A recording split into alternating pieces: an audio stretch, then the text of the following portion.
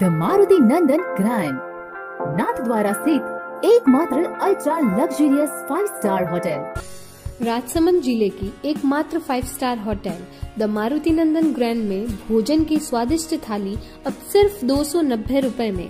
श्रीनाथ जी की नगरी नाथद्वारा में इस सुनहरे अवसर का आनंद अवश्य उठाएँ।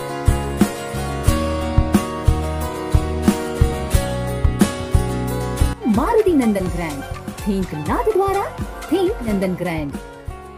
राजसमंद में भीषण सड़क हादसे में एक दंपति की दर्दनाक मौत। राजसमंद जिला मुख्यालय पर राजनगर थाना क्षेत्र के हाईवे आठ किनारे भगवानदा के पास एक बाइक सवार दंपति को बेकाबू ट्रक ने कुचल दिया। हादसे में दंपति की दर्दनाक मौत हो गई। यह पति पत्नी राजनगर से अपने गाँव पसुंद लौट रहा था। दंपति का नाम है, जो पसुंद गाँव के रहने वाले हैं।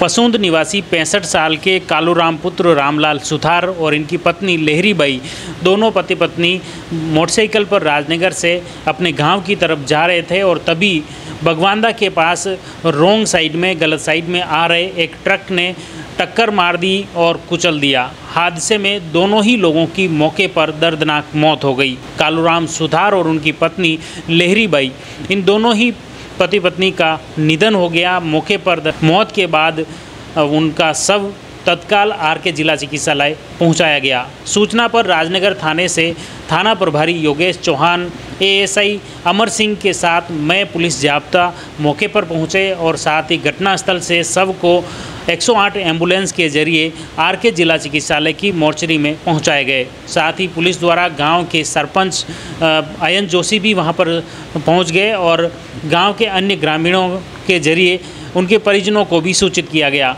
बताया जा रहा है कि कालूराम सुथार के चार पुत्र हैं और चारों ही सूरत में काम करते हैं, पूरे परिवार वहाँ रहते हैं और ये पति पत्नी दोनों यहाँ गाँव में रहते थे।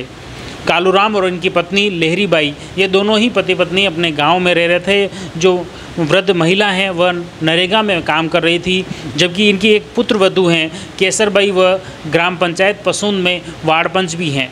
आपको बता दें कि कालू राम की भाभी का निधन भी कुछ दिनों पहले ही हुआ है, जिसके चलते उनके घर घर पर बैठक अभी चल ही रही है और इसी बीच में इस भयानक हादसे ने घर में कोहराम का माहौल पैदा कर दिया।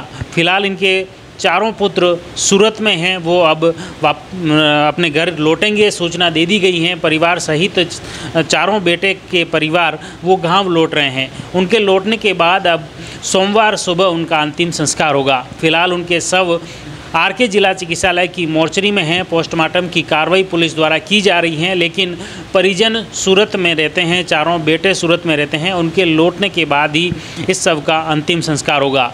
इस विभत्स हादसे को लेकर जिसने भी देखा, जिसने सुना, हर कोई अवाक रह गया। हादसा राजसमंद जिला मुख्यालय पर राजनगर थाना क्षेत्र के भगवानदा में हुआ है। हाईवे आठ फोरलेन के किनारे यह हादसा हुआ, जिसमें गलत साइड से आ रहे ट्रक ने बाइक को टक्कर मार दी। हादसे में पसुंद निवासी कालूराम सुथार और उनकी पत्नी लहरी बाइक की दर्दनाक मौत हो गई है। राजसमंद की अपडेट खबरों के लिए आप देखते रहिए जयवर्धन न्यूज़। धन्यवाद।